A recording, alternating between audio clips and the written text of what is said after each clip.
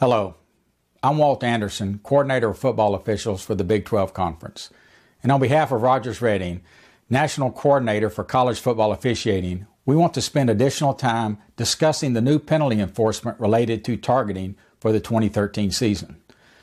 One of the phrases that Rogers often uses to place rules applications in proper perspective is don't let perfect be the enemy of good. This applies very well to the national initiative against targeting. Everyone is on board to eliminate the obvious and avoidable hits that meet all of the requirements for targeting. And nobody wants to disqualify a player for action that, while it may involve some helmet contact, does not rise to the level of a foul under either of the two targeting rules, 913 and 914. The rule will be aggressively enforced by officials.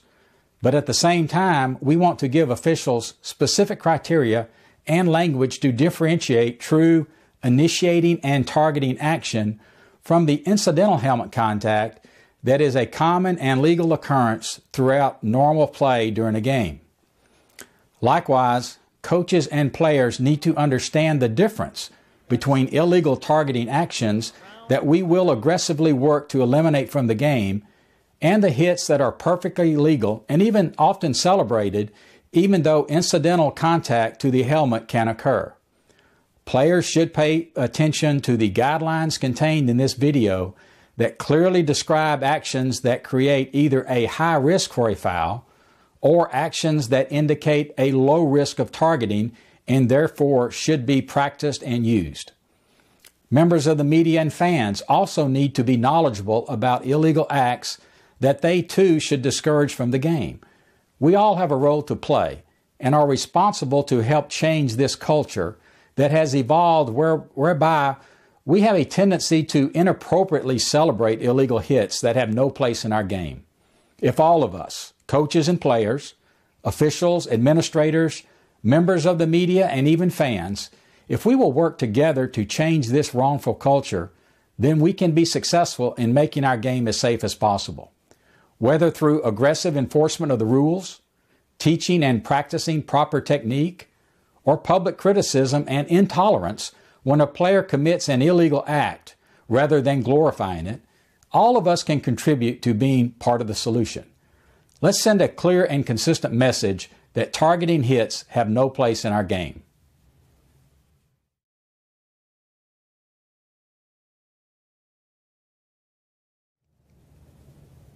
In order to help understand the targeting rules, we have placed targeting fouls into four categories and will address both legal and illegal actions in each of these four. Now, this is not to say that targeting cannot occur with other actions, but these are the four that we have found to be the most common. The definitions of fouls involving 913 and 914 remain the same as last year. The difference is in the penalty enforcement, which now requires disqualification. We want to focus this video on actions that lead to targeting so that we can hopefully teach players how not to tackle, but instead learn techniques that can still be effective yet reduce the risk of injury. The four categories that we want to talk about will involve targeting actions that can occur with a variety of plays. We have found that the most common situations where targeting is most likely to occur is in these four types of plays. Number one, hits on receivers. Number two, roughing the passer. Number three, hits on quarterbacks or runners in both an upright and a sliding position. And number four, blindside blocks. Rogers Redding and the NCAA have produced guidelines to help in identifying specific types of actions that create a high risk of a foul. This is not to say that other actions cannot lead to a targeting foul, but players need to understand that these four actions greatly increase your risk of targeting fouls. These four high risk guidelines are launching at the opponent by leaving the feet to attack by an upward and forward thrust to make contact to the head and neck area.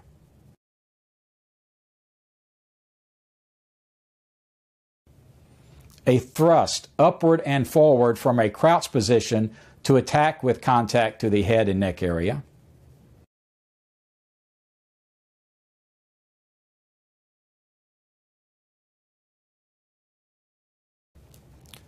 striking with the helmet, forearm, fist, hand, or elbow to attack the head and neck area.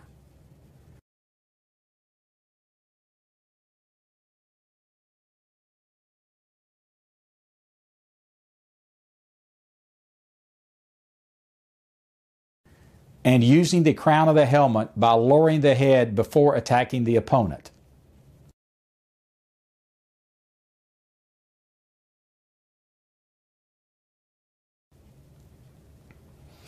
In addition to the four high risk actions, there are also four actions that we want to highlight that create a low risk for a foul, and thus are actions that players want to try to use when making contact with an opponent.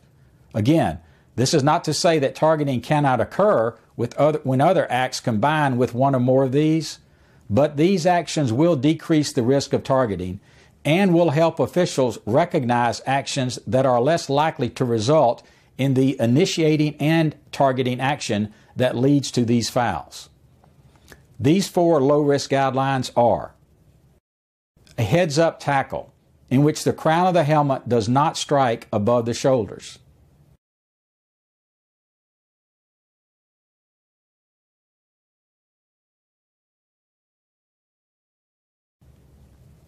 A wrap up tackle, where the player is making a conscious effort to wrap the opponent with the arms rather than attacking him above the shoulders.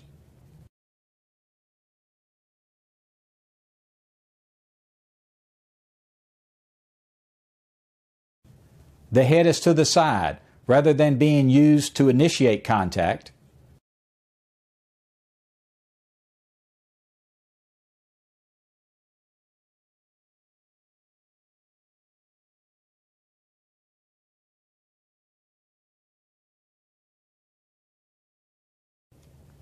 And a position change of players that is due to the normal course of play that often leads to incidental contact of the helmet, but that is not a part of the initiating and targeting action that is a foul.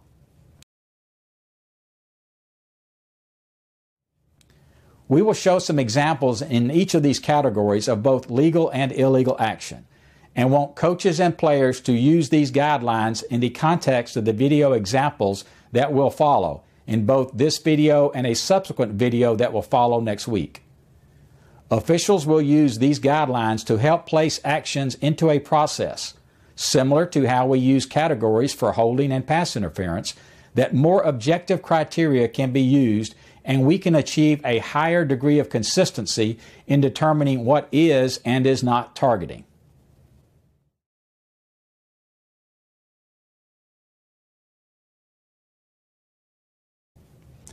Let's take a look at some plays in our first category, which is hits on receivers. All of these are going to be, in this section, are going to be hits that are fouls and are targeting in nature.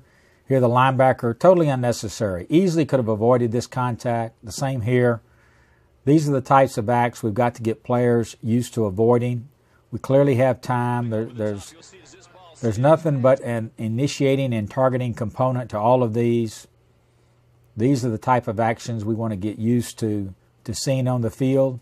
But at the same time, we really want to work at, at players and coaches understanding that we've all got to collectively work at getting these types of hits out of the game.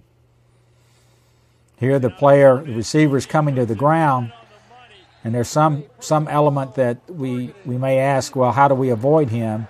And you may end up with some incidental contact, but here the, the defender lowers his helmet, strikes with the crown of the helmet, totally avoidable.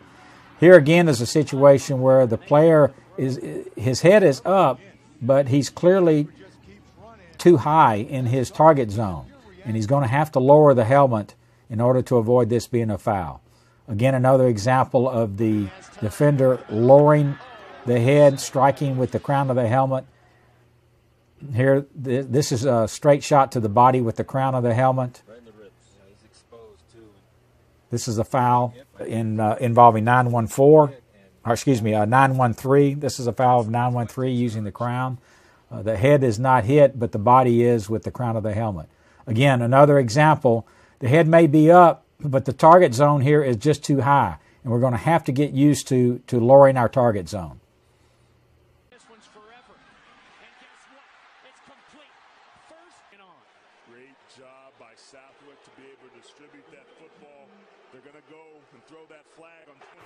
Again, the defender coming in high. This is a foul for targeting. Another example here, the defender easily could have avoided this high hit on the on the receiver. Instead, he, he lowers his helmet, even aims to the right. Defender here has clearly got to avoid this type of contact to the receiver, correctly called by the umpire. This is a strike, uh, an example of the striking category, where the defender goes uses the left shoulder, left forearm straight to the head and neck area of the receiver. No elements in terms of trying to get to the head to the side, wrap up, to try to do some of the, the things that would lower the risk of targeting.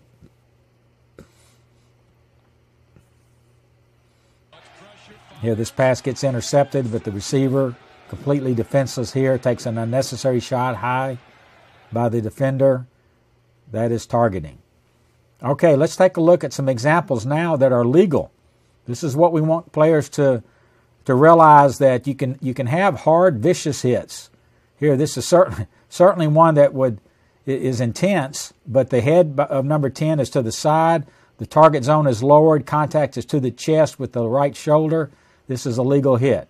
Here's one where the player actually launches, but he launches in a manner that the head is to the side and contact is low and is not to the head and neck area. That's a legal hit.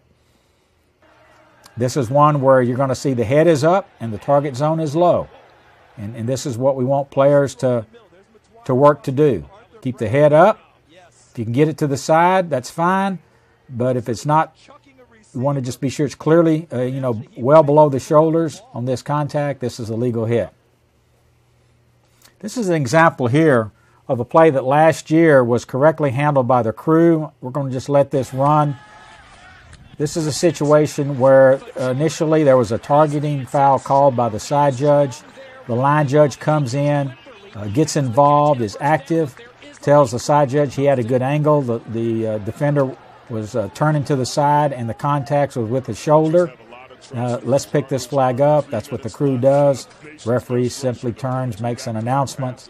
Uh, this is how we want these to be handled when, when we're not certain that we've got a foul. We want other officials who have a, in this case, a better angle to get involved, not to assume that the official who, who throws the flag uh, is uh, has the best angle. Here's one where both players are just simply playing the football. They're both diving for a pass between them, and there ends up being incidental helmet to helmet contact.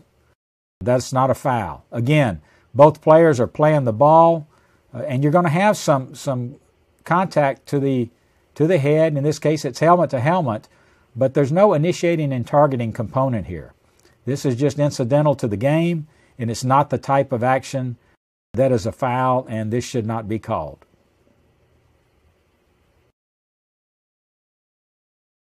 This is the same player that committed a foul earlier, uh, number 30. This is proper technique. The head is to the side, leads with the shoulder to the chest, legal hit.